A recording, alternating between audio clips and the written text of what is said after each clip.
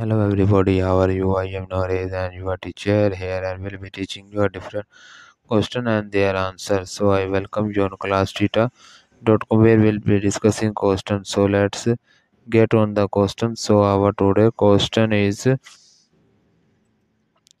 which word best completes and the sentence. Unfortunately, his poor performance yesterday was not simply an aspersions, abnegations, approbations, aberrations, arrogation. The correct answer of the question is the word. The best complete sentence is the aberrations.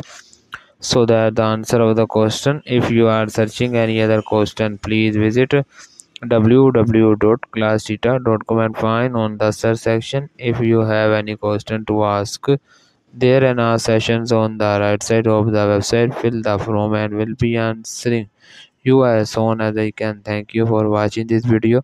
Please do not forget to like share subscribe our channel. Until next question bye bye